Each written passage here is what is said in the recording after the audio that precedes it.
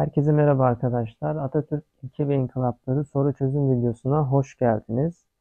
Atatürk'ün her türlü siyasi tartışmaların dışında tutulmasını istediği iki temel ilkesi aşağıdakilerden hangisinde doğru olarak verilmiştir? Atatürk cumhuriyetçilik ve laiklik ilkelerinin her türlü tartışmaların dışında tutulmasını istemiştir arkadaşlar. Doğru cevap A. Cumhuriyetçilik ve laikliktir. Atatürk'ün "Benim en temel karakterim özgürlüktür" sözünü bütünleyen ilke aşağıdakilerden hangisidir?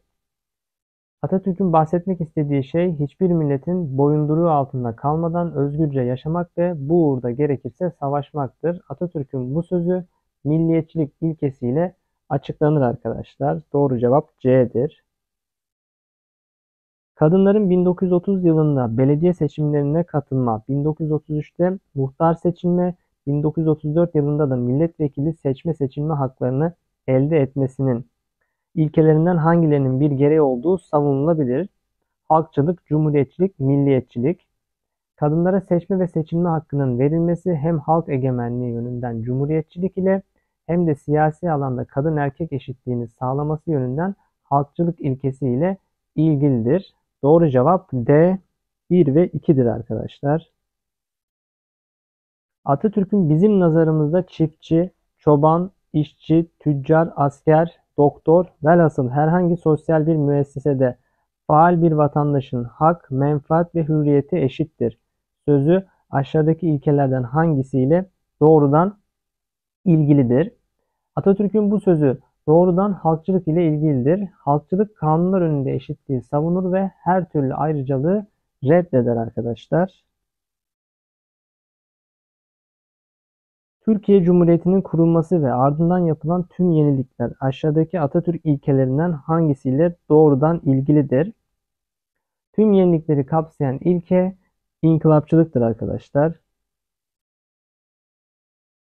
Yukarıda gelişmeler aşağıdaki Atatürk ilkelerinden hangisiyle daha çok ilgilidir? Boğazlar üzerinde kesin egemenlik sağlanması, batılı ve doğulu devletlerle ittifak yapılması, Hatay'ın anavatana katılması, nüfus mübadelesi yapılması. Öncüllere bakıldığında misak-ı milliyi gerçekleştirmek ve ülkenin zarar görmemesi için barış arayışlarına girmek söz konusudur. Bu da milliyetçilik ile ilgilidir arkadaşlar. Tevhid-i Tedrisat Kanunu laiklik, milliyetçilik, halkçılık ilkelerinden hangileriyle ilgilidir? Bu kanunda eğitim laik bir karakter kazandığı için bu boyutuyla laiklik ilkesiyle bütün eğitim kurumlarının Milli Eğitim Bakanlığı'na bağlanması ve azınlık ve yabancı okulların ayrıcalıklarının sona ermesi boyutuyla da milliyetçilik ve halkçılık ilkeleriyle ilgilidir. Doğru cevap E'dir. Yukarıda verilen inkılaplar sırasıyla aşağıdaki Atatürk ilkelerinden hangileri ile ilgilidir? Türk Dil Kurumu'nun açılması, tekke ve zaviyelerin kapatılması. Türk Dil Kurumu'nun açılması milliyetçilikle tekke ve zaviyelerin kapatılması laiklikle ilgilidir arkadaşlar. Doğru cevap B'dir. Balkan Antantı ve Sadabat Paktı aşağıdaki bütünleyici ilkelerden hangisiyle ilişkilendirilebilir? Balkan Antantı ve Sadabat Paktı Türkiye'nin saldırgan tutum sergileyen devletlere karşı aldığı savunma ve savaşı engelleme önlemleridir. Bunu da yurtta ve dünyada barış ilkesiyle bağlayabiliriz arkadaşlar. Doğru cevap D'dir. Medeni kanunun kabul edilmesi, inkılapçılık, laiklik, halkçılık ilkelerinden hangileri ile ilgilidir? Medeni kanunun kabul edilmesi, inkılapçılık, laiklik, halkçılık ilkeleriyle ilgilidir. Mecelleyi kaldırdığı ve hukuk birliğini sağladığı için inkılapçılık ve laiklik, sosyal ve ekonomik alanlarda kadın erkek eşitliği sağladığı için medeni kanunla ilgilidir arkadaşlar. Doğru cevap E 1, 2 ve 3'tür. Türk ulusunca daha önce benimsenen Kurtuluş Savaşı'nın başlamasında ve kazanılmasında etkili olan ilke aşağıdakilerden hangisidir? Kurtuluş Savaşı milliyetçilik ilkesi doğrultusunda başlamış ve başarıya ulaşmıştır. Doğru cevap D. Milliyetçiliktir. Aşağıdaki laiklik ile ilgili aşamalardan hangisi diğerlerinden daha sonra gerçekleşmiştir? Medeni kanunun kabulü, şeriye ve efkaf vekaletinin kaldırılması, halifeliğin kaldırılması, saltanatın kaldırılması, laiklik ilkesinin 1924 Anayasasına alınması. Saltanatın kaldırılması 1 Kasım 1922. Şeriye ve Efkaf vekaletinin kaldırılması 3 Mart 1924. Halifeliğin kaldırılması 3 Mart 1924. Medeni Kanunun kabulü 17 Şubat 1926. Laiklik ilkesinin ise 1924 Anayasasına alınması 5 Şubat 1937 tarihindedir. Doğru cevap E'dir. Laiklik ilkesinin 1924 Anayasasına alınması.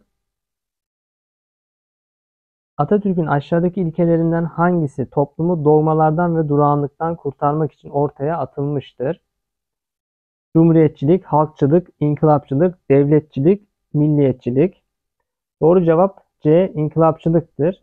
Atatürk'ün inkılapçılık ilkesi toplumun gelişmesine engel olan kurumların yerine modernleşmeyi sağlayacak kurumların konulmasını amaçlamaktadır. Bu doğrultuda toplumu dogmalardan ve durağanlıktan kurtarma amacı da yine inkılapçılık ilkesi sayesinde olacaktır. Dünyanın her türlü ilminden, buluşlarından, ilerlemelerinden yararlanılacaktır. Ancak temel kendi içimizden çıkarılmalıdır. Atatürk'ün bu sözü, inkılapçılık, milliyetçilik, laiklik ilkelerinden hangileri ile ilişkilidir?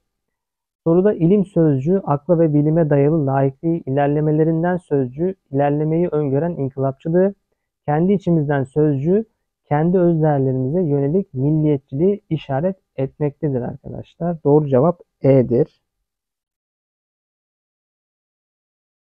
Devletin sanayide ve işletmecilikte görev üstlenmesi, ekonomide devletin hem düzenleyici hem de girişimci olması, halkın temel ihtiyaç maddelerinin devlet tarafından üretilmesi gibi durumlar Atatürk ilkelerinden hangisiyle ilgilidir? Eğer devlet ekonomide aktif rol alıyorsa bunu devletçilik ilkesiyle açıklayabiliriz arkadaşlar. Atatürk'ün halkçılık ilkesi unsurlarından hangileriyle bağdaşmaktadır? Kanun önünde eşitlik, din ve vicdan hürriyeti, toplumsal sınıflaşma. Atatürk'ün halkçılık ilkesi herkesin kanun önünde eşit olmasını ve devlet imkanlarından eşit bir şekilde yararlanmasını savunmaktadır. Dolayısıyla kanun önünde eşitlik, din ve vicdan hürriyeti halkçılık ilkesiyle bağdaşır. Ancak halkçılık ilkesi toplumsal sınıflaşmayı reddettiği için doğru cevap D'dir arkadaşlar. 1 ve 2. Türkiye Cumhuriyeti'nin gerçek sahibi ve efendisi gerçek üretici olan köylüdür. O halde herkesten daha çok refah, mutluluk ve zenginliğe layık olan köylüdür. Atatürk'ün bu sözü aşağıdaki ilkelerinden hangisiyle daha çok ilgilidir? Bahsedilen sözde köylüyü ve halkı korumak ve refahını arttırmaktan bahsediliyor. Dolayısıyla halkçılıkta ilgilidir. Halkçılıkta halkı eşitlemek ve yaşam standartlarını arttırmak söz konusudur. Doğru cevap B'dir. Atatürk'ün ben Ankara'yı hükümet merkezi yapmakla büsbütün başka bir hedef güttüm. Türk'ün imkansız imkan haline getiren gücünü dünyaya bir kere daha göstermek istedim. Bir gün gelecek şu çorak tarlalar, yeşil ağaçların çevirdiği villaların arasından uzanan yeşil sahalar asfaltlarla bezenecek. Hem bunu hepimiz göreceğiz. O kadar yakında olacak. Sözü aşağıdaki Atatürk ilkelerinden hangisiyle ilgilidir? Soruda verilen Atatürk'ün sözünde Türk milletinin gücünden ve Türk milletinin dünyaya neleri başarabileceğini göstereceğinden bahsedilmektedir. Bu durum Atatürk'ün milliyetçilik ilkesiyle ilgilidir arkadaşlar. Doğru cevap E'dir. Saltanatın kaldırılması, cumhuriyetçilik, devletçilik, laiklik ilkelerinden hangileriyle ilgilidir? Saltanat 1 Kasım 1922'de kaldırılmıştır. Bu inkılap hareketi din ve devlet işlerinin birbirinden ayrılması boyutuyla laiklik, ulus egemenliği doğrultusunda atılan bir adım olması boyutuyla da cumhuriyetçilik ilkesiyle ilgilidir arkadaşlar. Doğru cevap D 1 ve 3'tür. Atatürk ilkelerinin özellikleri arasında yukarıda verilenlerden hangisi ya da hangilerinin olduğu söylenebilir. Tam bağımsızlığı savunur, manda ve himayeden yanadır, çağdaşlaşmayı hedefler, Atatürk'ün ilkeleri manda ve himayeye karşıdır. Diğer öncüller doğrudur arkadaşlar. Doğru cevap C 1 ve 3'tür. Türkiye'de yapılan bazı yenilikler düşünüldüğünde yukarıdakilerden hangilerinin laiklik ilkesiyle bağlantısı kurulabilir? Medeni kanunun kabulü, halifeliğin kaldırılması, şehlik, dervişlik, müritlik gibi ünvanların kullanılmasının yasaklanması. Medeni kanunda din ve vicdan özgürlüğü getirildiği için laiklikle bağı kurulabilir. Halifeliğin kaldırılması zaten laikliğe giden yolda atılan ilk adımdır. Şeyhlik, dervişlik, müritlik ünvanları dinsel ünvanlardır. Bunu kaldırmak da laiklikle ilgilidir arkadaşlar. E seçeneği doğrudur. 1, 2 ve 3. Mustafa Kemal Atatürk'ün ölülerden medet ummak muasır medeniyetler için kara bir lekedir. Gerçek tarikat medeniyet tarikatıdır sözü onun laiklik, inkılapçılık, devletçilik ilkelerinden hangileriyle ilişkilendirilebilir? Tekke, zaviye ve türbelerin kapatılması döneminde söylenen bu söz onun laiklik ve inkılapçılık ilkesiyle ilişkilidir arkadaşlar. Doğru cevap D 1 ve 2'dir. Videonun sonuna geldik. Diğer videolarda görüşmek üzere. Hoşçakalın.